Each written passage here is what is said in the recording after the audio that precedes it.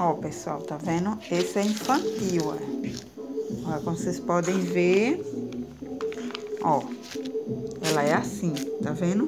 Por que que eu boto mais largo? Pra não ficar faltando. Na medida que eu vou colocando a cola aqui, eu tô fazendo com cola quente, porque enxuga mais rápido. É melhor de trabalhar cola quente, tá?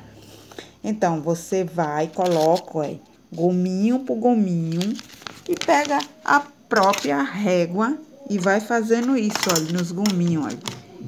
Tá vendo, ó? Vai fazendo isso nos gominhos, ó. Aí vai ficando. Eu boto um pouco, eu boto mais largo, tá vendo, ó? Como vocês podem ver. Porque se a gente botar na medida do papelão, vai ficar faltando. Na medida que a gente vai colocando, ele vai encolhendo um pouquinho e às vezes fica faltando de um lado ou de outro. Isso não pode acontecer. É melhor colocar o papel passando para que, que sobre do que faltar, na verdade. Depois de terminar aqui, você é só cortar aqui, ó, desse lado.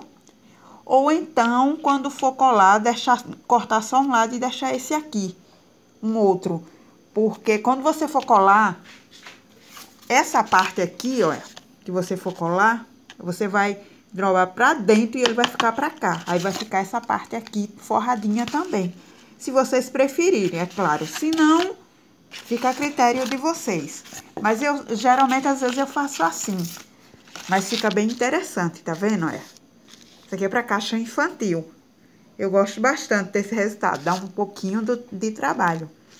Mas se a gente não tiver trabalho, não tem nada bem feito também. Eu amo fazer esse trabalho, tá vendo?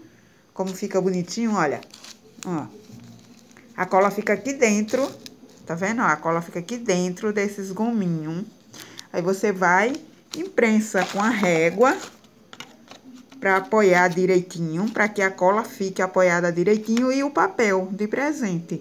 Você pode colocar o papel de presente de acordo a cor que você quiser, a estampa. Aí quem escolhe é você, mas fica bem legal.